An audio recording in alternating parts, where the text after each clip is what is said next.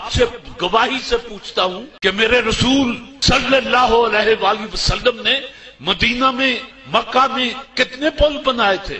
कितनी सड़कें बनाई थी? कोई पुल नहीं बनाया, कोई सड़क नहीं बनाई। क्या बनाया? कौम बनाई।